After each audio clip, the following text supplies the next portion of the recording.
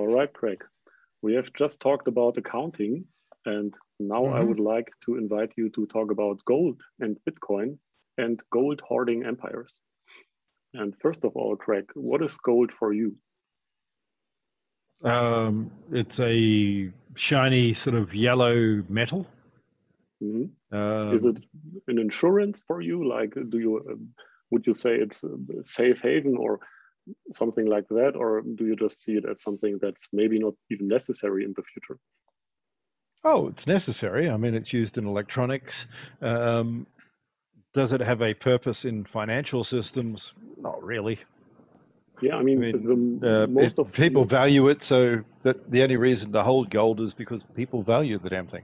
Um, I'll give you an example um, for the NFT craze, where people talk about. Um, uh, I saw something how there was an 11 million dollar NFT. Um, carinsurance.com went for just under $15 million. Insurance.com for about 35 million dollars in the past. Uh, privatejet.com 30 million. Um, a friend of mine back when I worked in OzEmail owned Hotel.com for a while. Um, so uh, I chose to IP squat he because uh, I had 64,000 IP uh, like C classes, uh, which made me a bit of money, but nowhere near as much as those who domain squatted. And I thought that was completely stupid because IP addresses uh, actually have a use, whereas uh, there's so many ways of doing something like um, internet.com or insure.com. So, um, simply put, I mean, we're do you like, a, Do you like Do you like gold or not? Maybe that's easier to answer. Personally, I'm wearing personally. some. I mean, okay. I've, I've, got a wedding ring. It, it's um, uh, it's not gold. It's platinum, but uh, like my Harvard class ring is um, is gold. Um, it's got shiny things on it and, um, and that sort of stuff. Uh, I mean, do I wear it as as jewelry? Yes. I mean, there's, there's gold in my Rolex, um, but I mean, is this an investment? No. I mean, I, I, I mean, yes, I could flog my Rolex off, but I don't think I'll get as much money. I mean, there are some watches I own. Uh, my Patek, uh, I had a, a, a 47 um, Patek that's worth a lot more than it started at. But generally speaking, uh, if you add up all the watches I've got and all the gold jewelry I've got, it's gone down in value. It's it's um, it's a commodity. Um, uh, so, uh, uh, what do you call it? A, a Veblen good that you buy and uh, use to expose sort of well jewelry is jewelry is like the use case for gold, but most of the gold is probably stored in vaults and never even sees the sun ever. So I'm just trying to compare gold to. Well, that that's sort of assuming that you actually believe um, that it's actually in the vault. Um, okay. Okay. I mean, um, I've been involved in audits before. I mean, including in the Perth Mint. I, I mean, um, so you have to go over all the uh, having each of the rooms in the vault audited and marked and photographed at the same time. Mm-hmm. And so, does it happen uh, or? Oh, it, there's so many times when things happen. I mean, I've been involved with gold companies that had titanium rods in. Uh, we destructively audited a gold bar once, as in cut it in half, and um, we well we attempted to cut it in half. Gold's actually easy to cut in half, but when you hit a titanium rod, it actually is rather hard to cut. so um, I've seen all these sort of fun things that people do, and the reality here is um, uh, it's expensive, it's heavy. Um, the only reason it really existed was no one had anything better at the time. Mm-hmm. Okay, that's interesting. Do we have something better now? Yes, it's just a record keeping system. I mean, the amount of gold is a token, a, a measurement. So, do we have a token or a measurement? Yes, we've got lots of them. Okay.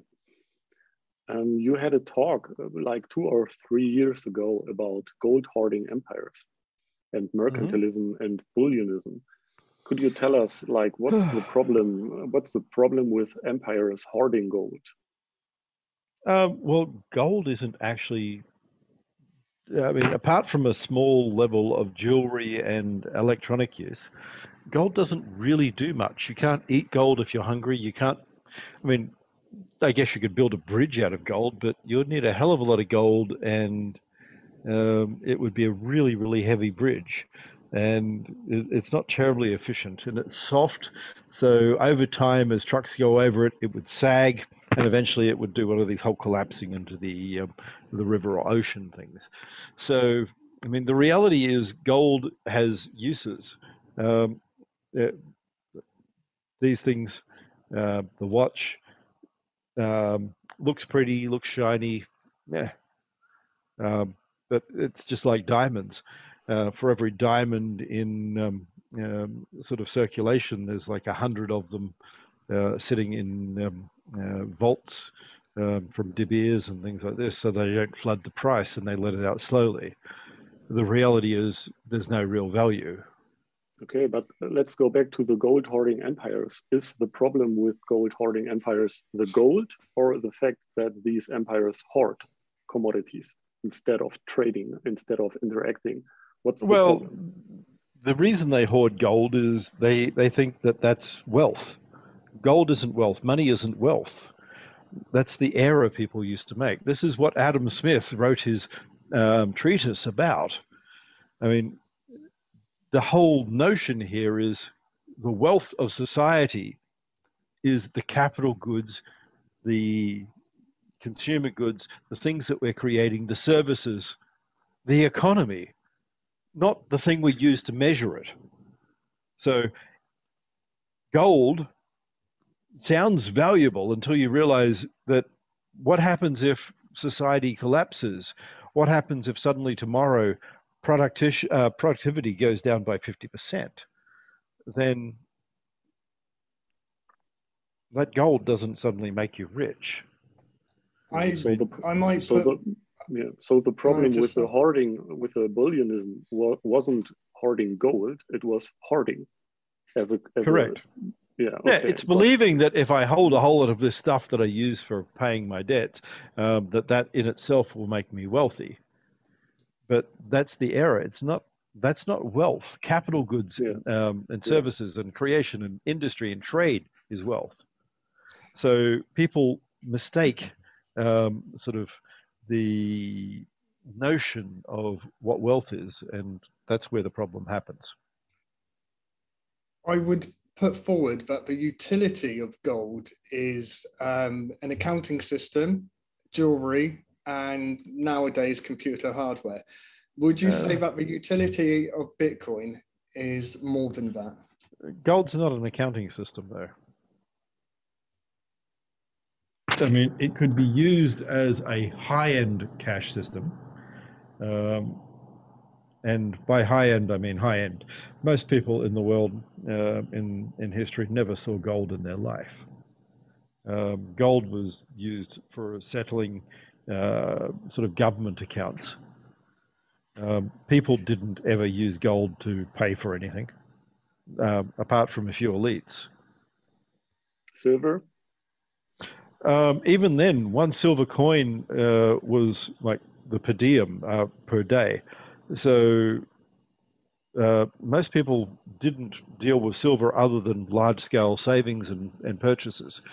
Uh, the majority of people used um, either copper or um, lead, uh, other processed sort of goods. Um, if you were buying your day to day things, your groceries, going to the pub, it would actually be a lead token. Uh, most most people don't realize this, but there's lots of evidence of it here around Europe. Um, if you go back into um, the history, you find all this, and sitting there going, um, but there's a one pound coin. Well, really? So what? We're not talking about the um, estate holders who own 60,000 acres of land in Britain, which is what most historians write about in the past. Uh, I'm talking about the 99% of the population who would never have seen a, a, um, uh, a gold coin in their life. Uh, even today. And, even today. Um, well, most people can afford to see a gold coin in their life today, but they just don't care. Yeah. Um, I, putting forward in um, the Roman times, uh, there were taxes were mostly only accepted in gold, and apparently in some medieval countries as well, because apparently, and feel free to correct me afterwards if I'm wrong, uh, mm. gold was hard, more likely, more likely silver. Right. Um, um, and, and then the... what you're you're doing is at the governor level. So you're confusing the tax collectors uh, and what they had to pay to the state with the actual people. So the way that it worked was the Romans used a tax farming industry, and they would sell the rights um, to collect taxes in a province. So the tax collector, um, which of course are mentioned all through the Bible, no one liked them, uh, would go through and collect up all the wealth that they could and milk the people as much as they could. Uh, and from that, um, they would get enough gold or silver to pay the Romans. Um, and the way that that worked wasn't like a percentage tax now. They would buy the right. So I would go, I think I can milk Jerusalem for uh, a thousand shekels. Uh, so I'm going to go to the Romans and say, I will give you 800 shekels to do this province. I want to go back to the gold hoarding empires um, a little bit. Was mm. there a counterexample, Craig, in history of an empire that didn't hoard? Um, at what stage? I mean, um, uh, empires, uh, not everything was an empire for a start. I mean, if you go back to Athens, um, the Athenians were a republic. Republics weren't common, but there were plenty of them. Um, Venice, Florence, um, they were comparatively small. Um, so the difference was you didn't really, you had a commercial group in most of these, like the Venetians or Florentines. Um, but yes, mercantilism was considered how you do economics um, up until um, Smith came along. Hmm. I'm trying to get to the core problem of hoarding. Um, what is the difference between saving and hoarding? Um, well, saving, you should actually have your money active. You're trying to grow your money. So, mm-hmm. um, to be a little bit biblical, I'll um, uh, sort of try and point you out to the um, parable of the talents and the servants. Uh, and uh, what we should look at is the castigation of the individuals who um, sort of buried money, hoping mm-hmm. that it will just be there. I mean, gold is not an appreciating asset. Um, over time, the value of gold um, decreases compared to the economy. You actually need to have something like a Fortune 500 um, sort of stock portfolio to um, manage your money and stay even. Um, and I would actually argue that um, you need to be close to a S&P 500 uh, sort of investment portfolio really to stay even. Mm.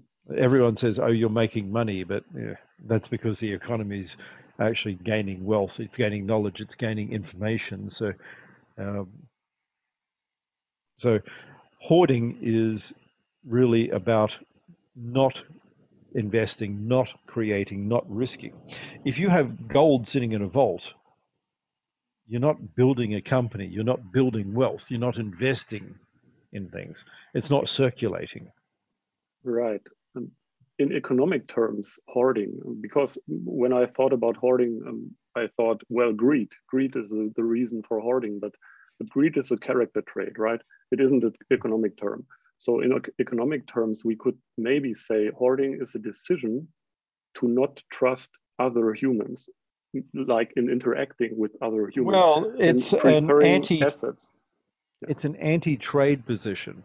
Yeah, so exactly. I mean, um, if you get anyone who's a little bit of a watermelon, uh, you know, green on the outside, red in the middle, they'll say how the economy's um, overheating and we need to slow it down.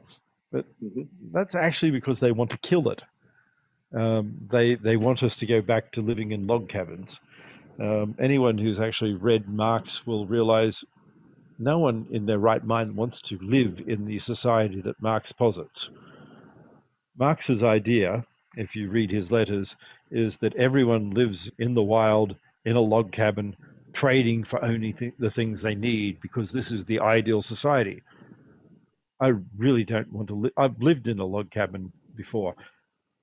And if I had a choice of living in a log cabin or grabbing an axe and going wild and killing everyone I saw um, until I got shot in the street, I'd, I'd go for the second.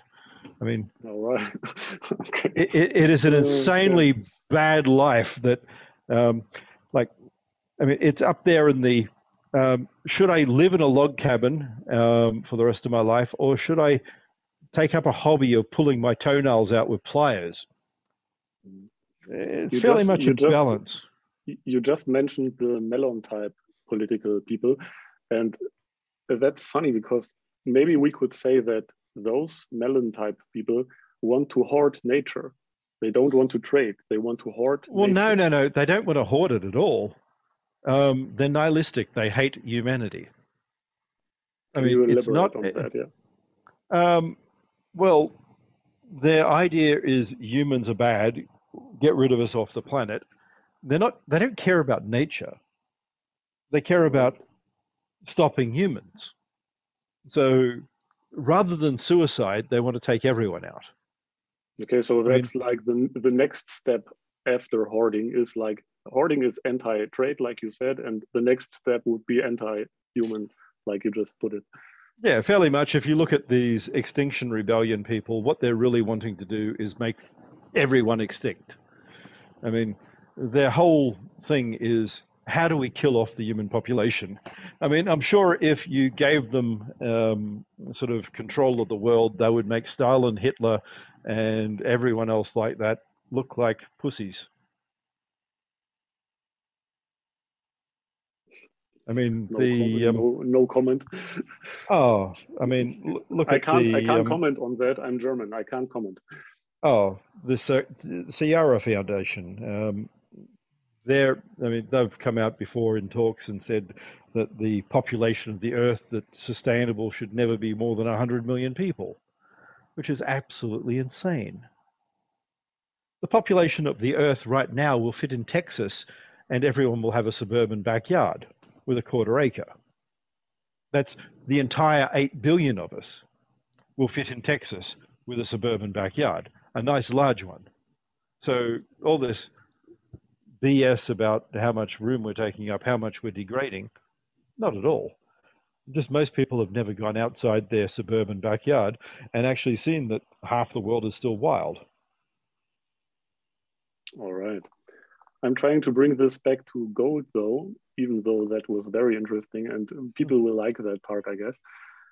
What would you say if we take the premise that the world will be running on Bitcoin SV, maybe in 20 years, 30 years, whatever, maybe faster? But what effects would that have on gold as an asset? Like, could see... gold, yeah. Why would it have an effect on gold as an asset? I maybe mean... because people say that um, the commodity that is Bitcoin SV could be. But people don't buy gold because of that. But but no one uses gold as money anymore. I mean, gold's not. Uh, it's not even a good inflation hedge because it's negative now. Um, it's not a store of value. It's not. So I mean, people don't buy gold for that reason. They buy gold because it has a value. So th- there's no correlation between Bitcoin in any any possible history and gold. I mean, anyone's possible history. If we take a near infinite universe, I don't believe in infinity, um, and we extend everything that can happen with gold that is feasible, there is no way that this correlates with Bitcoin, ever. There's just no correlation to Bitcoin ever. It's just completely irrelevant. So it's like saying some guy on Alpha Centauri, what did he have to do with Buddha? Nothing. I mean, you can make conspiracy theories up to the yin yang and say that really a Buddha was an alien, but the reality is nothing. All right. Question answered. What would you personally prefer, a gold standard or a Bitcoin standard? Neither. Neither. Okay. Why would I? I mean, um, it should. Uh, one, there was no real gold standard ever in history.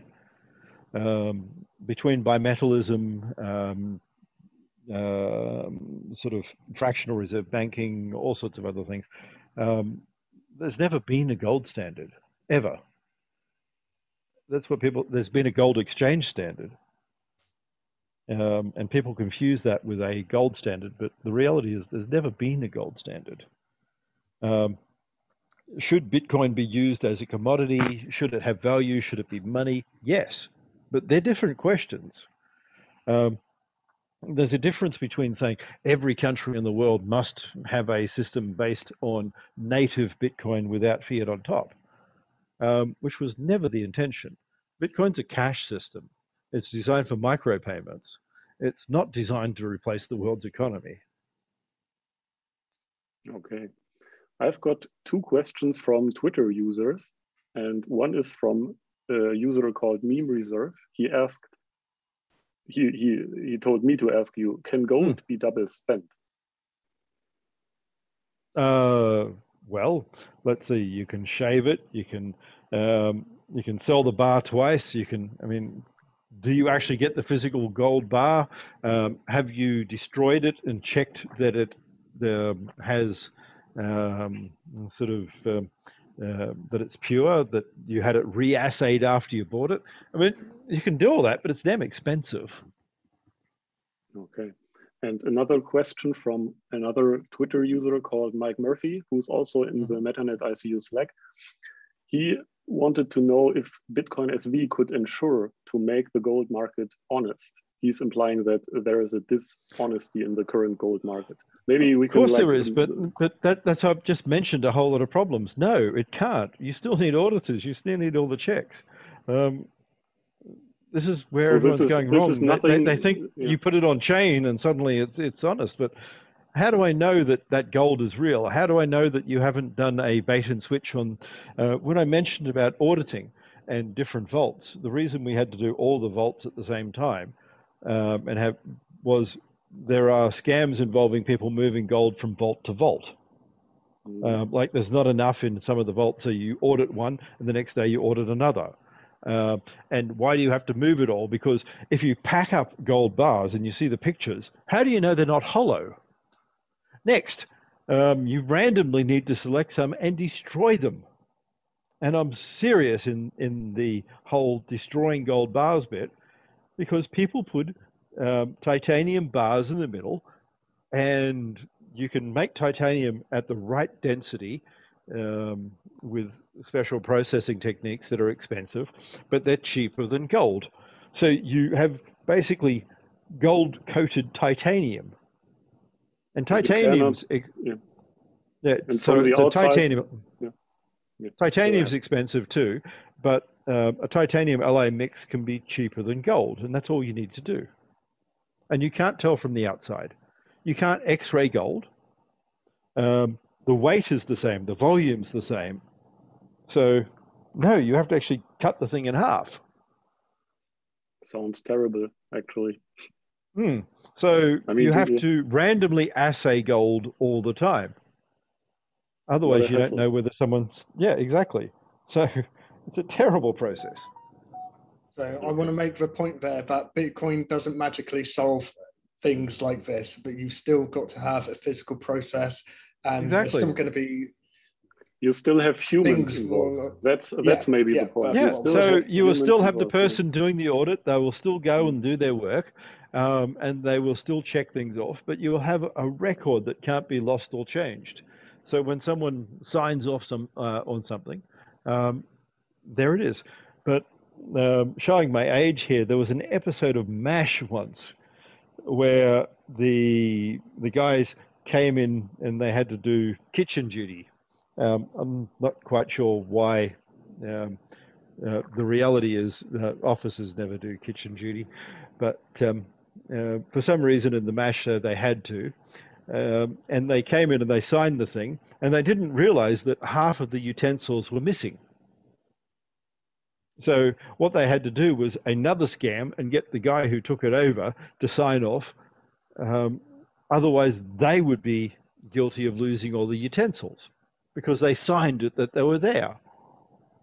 Mm-hmm. So the same thing has to happen. If you don't check, then someone's going to diddle you, and um, it doesn't matter what you're on. If you're talking about real world assets, then Bitcoin doesn't solve that. Uh, no matter how many NFTs you want to create, um, there's nothing stopping the NFT about nothing uh, having a unbounded number of nothings. The artist right. can make another NFT with nothing all he wants. Right. right. With that, I think we have uh, mm. to call time now. Um, I would like to thank Craig very much for joining us again. And we shall hopefully you, be with Craig again in another month's time. That sounds good. Thank you very much, all. Yeah. Alrighty. Thanks, Craig. Bye bye. Right. Talk Thanks, Craig. I'll talk Bye. to you soon. Bye.